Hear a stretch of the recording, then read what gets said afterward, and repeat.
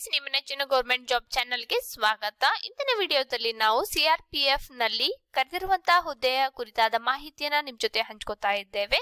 ಕೊನೆವರೆಗೂ ನೋಡ್ತಾ ಇರಿ. ಫ್ರೆಂಡ್ಸ್, ನೀವು ಇನ್ನು ನಮ್ಮ ಚಾನೆಲ್ ಸಬ್ಸ್ಕ್ರೈಬ್ ಆಗಿಲ್ಲ ಅಂದ್ರೆ ಈ ಕೂಡಲೇ ಸಬ್ಸ್ಕ್ರೈಬ್ ಆಗಿ ಬೆಲ್ಲೈಕನ್ ಮೇಲೆ ಹಿಟ್ ಮಾಡಿ, ಹಾಗೆ ನಾವು ಹಾಕುವಂತ ಎಲ್ಲಾ ವಿಡಿಯೋಗಳನ್ನ ಪಡೆದುಕೊಳ್ಳಿ ಸ್ನೇಹಿತರೆ. ಈ ಕರೆದಿರುವಂತಹ ಹುದ್ದೆ ಬಂದ್ಬಿಟ್ಟು ಗ್ರೂಪ್ ಸಿ ಅಂದ್ರೆ ಹೆಡ್ ಕಾನ್ಸ್ಟೇಬಲ್ ಹುದ್ದೆಗೆ ಕರೆದಿದ್ದಾರೆ ಸ್ನೇಹಿತರೆ. ಸೊ, ಇಲ್ಲಿ ಕರೆದಿರುವಂತಹ ಹುದ್ದೆಗಳು ಇಲ್ಲಿ ನೋಡೋಣ. ವೇಕೆನ್ಸಿಗಳು ಈ ರೀತಿಯಾಗಿದ್ದಾವೆ. ಮೇಲು ಸಾವಿರದ ಮುನ್ನೂರ ಮೂವತ್ ಒಂದು ಹುದ್ದೆಗಳನ್ನ ನೋಡಬಹುದು. ಅದೇ ರೀತಿಯಾಗಿ ಮಹಿಳಾ ವಿಭಾಗದಲ್ಲಿ ಎಂಬತ್ತೊಂದು ಹುದ್ದೆಗಳಿದ್ದಾವೆ ಸ್ನೇಹಿತರೆ.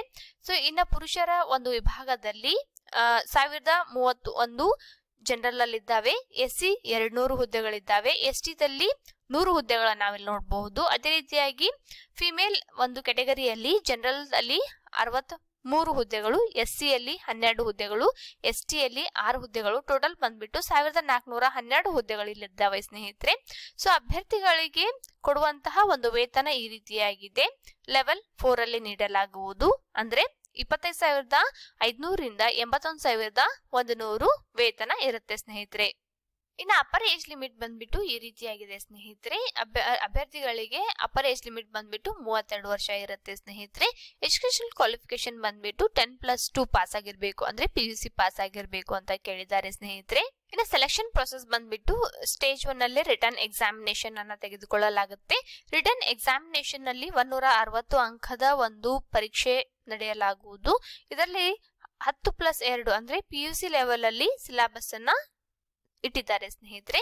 ಇದರಲ್ಲಿರುವಂತಹ ಸಿಲೆಬಸ್ ಈ ರೀತಿಯಾಗಿದೆ. General intelligence awareness reasoning numerical ability ಇದರ ಸಂಬಂಧಪಟ್ಟಂತೆ ಅರವತ್ತು ಪ್ರಶ್ನೆಗಳನ್ನ ನೋಡಬಹುದು. ಅದೇ ರೀತಿಯಾಗಿ ಪ್ರೊಫೆಷನಲ್ ನಾಲೆಜ್ ಬಗ್ಗೆ ಎಪ್ಪತ್ತು ಪ್ರಶ್ನೆಗಳು. ಅದೇ ರೀತಿಯಾಗಿ ಲ್ಯಾಂಗ್ವೇಜ್ ರಿಲೇಟೆಡ್ ಮೂವತ್ತು ಪ್ರಶ್ನೆಗಳು.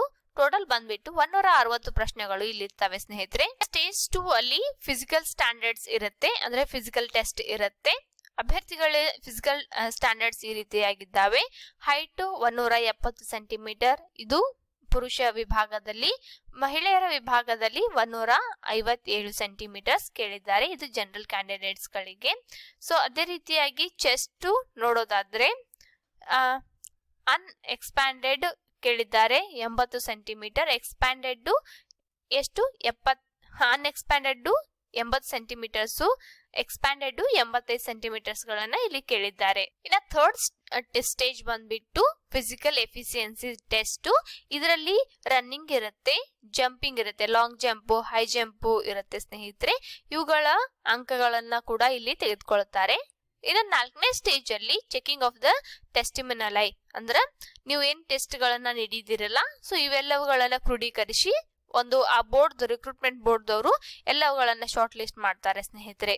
ಸೆಲೆಕ್ಟ್ ಅಭ್ಯರ್ಥಿಗಳಿಗೆ ಟ್ರೈನಿಂಗ್ ಅನ್ನ ನೀಡಲಾಗುತ್ತೆ. ಈ ಟ್ರೈನಿಂಗ್ ಅವಧಿ ಬಂದ್ಬಿಟ್ಟು ಎರಡು ವರ್ಷದ ಇರುತ್ತೆ ಸ್ನೇಹಿತರೆ. ಅಪ್ಲಿಕೇಶನ್ ಫಾರ್ಮೆಟ್ ಈ ರೀತಿಯಾಗಿದೆ ಸ್ನೇಹಿತರೆ. ಸರಿಯಾಗಿ ನೋಡ್ಕೊಂಬಿಡಿ. ಸೊ ಈ ಅಪ್ಲಿಕೇಶನ್ನ ಸರಿಯಾಗಿ ತುಂಬಿಟ್ಟು ಅಪ್ಲಿಕೇಶನ್ ತುಂಬಿದ ನಂತರ ಅಭ್ಯರ್ಥಿಗಳೇನಿದಾರಲ್ಲ ಸೊ ಪರ್ಟಿಕ್ಯುಲರ್ ಯೂನಿಟ್ಸ್ ಅಥವಾ ಆಫೀಸಸ್ಗೆ ಹೋಗ್ಬಿಟ್ಟು ಅಪ್ಲಿಕೇಶನ್ ಫಾರ್ಮ್ನ ನೀಡಬೇಕಾಗುತ್ತೆ ಸ್ನೇಹಿತರೆ. ಇನ್ನು ಅಪ್ಲಿಕೇಶನ್ ಫಾರ್ಮ್ನ ನೀಡಲಿಕ್ಕೆ ಕೊನೆಯ ದಿನಾಂಕ ಅಭ್ಯರ್ಥಿಗಳು ಏಳು, ಎರಡು, ಎರಡ್ ಸಾವಿರದ ಇಪ್ಪತ್ತರಿಂದ ಆರು, ಮೂರು, ಎರಡ್ ಸಾವಿರದ ಇಪ್ಪತ್ತರ ಒಳಗಾಗಿ ಅಪ್ಲಿಕೇಶನ್ ಅನ್ನ ಹಾಕಬಹುದು ಸ್ನೇಹಿತರೆ. ಸೊ ಈ ರಿಕ್ರೂಟ್ಮೆಂಟ್ ಮಾಹಿತಿಯನ್ನ ನಾವು ನಿಮಗೆ ತಿಳಿಸಿದ್ದೇವೆ. ಇನ್ನು ಡಿಟೇಲ್ ಆಗಿ ಅರ್ಥ ಮಾಡ್ಕೋಬೇಕು.